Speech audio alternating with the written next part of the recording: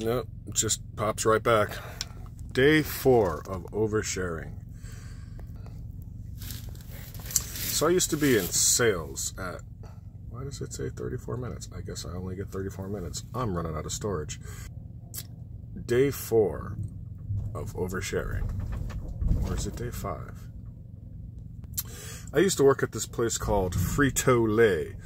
Uh, it was a pretty good job. Uh, they paid pretty well. I mean, like, pretty well. Like, your starting pay was 40K uh, as a sales rep. Um, back when they were sales reps. They're not sales reps anymore. They're hourly employees uh, with less benefits because of that. Slightly less benefits uh, and less pay. But that's not what I'm here to talk about. Today's topic is racism in the workplace. Why do I not have a light on me? Oh, because it looks crazy if I have a light on me. Today's topic is racism in the workplace. I used to have this manager named Robert Mel. Let's just call him Robert Mel because I don't want him reaching out to a lawyer and trying to fucking sue me for telling the truth. Uh, anyway, so Robert Mel was a Latino fellow, but if you looked at him, you would be it'd be okay to mistake him for an Italian guy. He looked like Mario from like Mario and Luigi. Back when I first started at this company, I was a rookie and I didn't quite have my feet underneath me. And in sales at Frito-Lay, your job is literally like putting product in the store and trying to put as much product in the store and convince these uh, customers uh, the customers are the stores, not the consumer. The consumer is the consumer. Uh, to take as much as your product as as possible, more than they need. Fill their back shelves. So this was uh, about nine, ten, almost nine plus years ago when I first started there. Uh, there was a, a white guy, older white guy, veteran. He had been not veteran, veteran maybe I don't know, but veteran of Frito Lay. He had been working there so many years. He just he was in he was in what's it called senioritis when you're in high school and you just don't care. It's your last three months. You already applied to colleges. You've passed all your classes. You just walk around with the air. I don't give a fuck. So this white guy was about to quit. Give you an idea what he looks like. Gray goatee, always wore a Kangol. Bigger, heavier set individual. He would just go into stores throwing product. He doesn't care how much product he brings in. He's not rotating the old product to the front and the new product to the back so that you don't cause a stale issue. Stales are when the chips go out of date. And each each bag of chips is a potential firing um, because the city inspectors, if they were to go in the stores and find out of date product, they can fine the customer uh, up to like $400 each ex- expiration. And if you got like 10 of those in the store, that store can get closed down by the city. Because of that, we guarantee our service as sales reps to maintain and manage this product that we're in the store. All of that just to say this. I was covering his route while he was going on vacation, and he was actually about to leave three months after. He went he went and took all his vacation so he could just slowly retire. I'm covering his route and I'm finding a bunch of stale. He didn't do his job for at least the last two years. I was finding bags of chips from like a year and a half ago. Like you can tell because bags of chips update every couple of months, maybe every year you get a new version of the bag and they come up with new brands of chips etc., etc. So I was finding t- I, he had like 17 stores. He might have had a thousand dollars worth of stales. And this is back when chips were cheaper. You can get four bags of chips for a dollar. So if you're doing the math, that's a lot of that's a lot of chips. Um, that's a lot of bags of product that are stale in the store. So I was doing my best on this route, and I had this manager named Robert M. Robert Mel, uh, and he did not like me. Um, he he clearly didn't like me. He would follow me around and tell me how everything I was doing was wrong. And then he would threaten to write me up. Now, again, I'm a rookie. I hadn't been there more than maybe six months, seven months.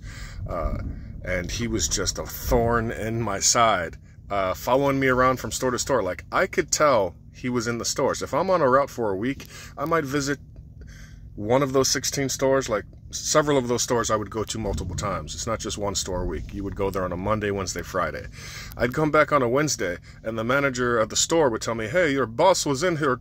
He was checking behind you. He's asking me questions about you. I'm like, Jesus, this guy's got it out for me. So, anyway, he found a few bags of stales that I had missed. Again, this is not my route. And I had found maybe a thousand bags of stales. And when you're in the stores, you get your little computer, you scan the bags, you print it up, you do all your paperwork. I had proof that I had caught maybe 250 plus, 300 plus bags of credit in the store. And some of those bags go back over a year. And because I was taught to cover my ass, I took pictures. So Robert Mell calls me up one day and he says, uh, "Hey, I want to uh, I want to speak with you. Where, which store are you at? I got to come see you. And this is a bad sign. When you're in your stores, when you're in your market and you're in sales, managers aren't supposed to call you. They're supposed to let you do your job. You come back to the warehouse, you see them at the end of the day. He came to see me. So I knew it was bad right off the bat. I knew it was bad. Well, he comes out to see me and he tells me that he shows me a picture of three bags of Lay's, medium sized family bags. They're not the big family bags. They were like the $3.20 family bags. Uh, he finds three of them in a Walmart or a Walgreens. He says, Yeah, look, I can write you up for this. He was actually training a new manager at the time, a black guy, uh, and he was trying to show him the ropes on how you're supposed to come down on the employ, you know, the workers, the worker bees. You gotta, you gotta uh, assert your authority over them at all times, just so they know you're the boss. When they when they have questions, they don't want to bother you. Just leave me alone. I'm the boss. So he was showing this black guy how to do his job. And what he was doing was using me as a cudgel, and I was not too fond of it. I explained to him, hey, you can write me up if you want to, but I've got pictures of grocery carts full, grocery carts full to the top, multiple carts of stales that this I didn't say white guy, but I said this other guy left. And if you write me up, you're going to have to fire him because I've got I've got grocery carts full of it and I've got proof. I've got pictures of the dates. Each bag has a date on it. And I said, do you want to see them? So I tried to hand him my phone. Like, you want to see them? Tell me why Robert Mell said, no, no, no, I don't want to see it. I don't need to see it. I'm just come out here to tell you, you're going to make sure to do your job. It's like, no, I was doing my job and I was doing his job. He clearly hasn't been doing his job for the last year and a half. He kept refusing to look at the photos. And then at one point, I look at the black and I'm like, do you see this, brother? You see this shit? You see this motherfucking bullshit? And the black guy kind of looked down sheepish, like, I'm not supposed to fraternize. You're fucking the worker bees. So after I after I unsuccessfully tried to show him this, uh, the photo the photos of like a thousand dollars worth of stales, I said, hey man, what is your uh, email? I will email them to you so there's a paper trail. Because if you write me up, you have to fire this white guy. And I literally said that. You have to fire this white guy. And he's like, oh, it's not a brown ranch. I'm like, okay, Bob.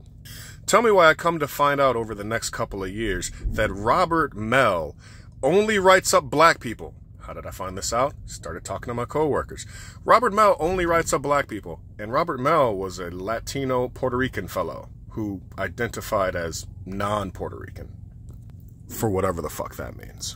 And I just wanted to do a, a thought process, like a little brain experiment.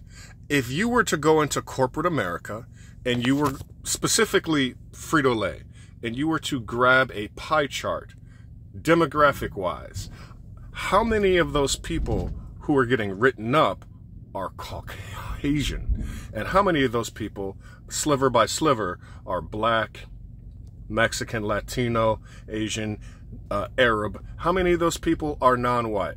And come to find out over like literally nine years of working at this place, uh, pretty much everyone who gets written up is black. Pretty much. You have to do some pretty bad shit to get written up if you're white. They fired one white guy for leaving his keys in his truck, and then his truck got stolen. His Frito Lay truck was stolen. He left his doors unlocked and the keys in the ignition. They fired him, and and then they brought him back. And the reasoning there was, well, we don't know if he actually left his keys in his truck. So, you think there's some master master locksmiths in the ghetto? We were in the ghetto. Uh, and they're just breaking into the truck to steal the truck, but they're master locksmiths. Why aren't they breaking into banks and vaults and shit? Like, so corporate racism is a thing, and it fucking sucks.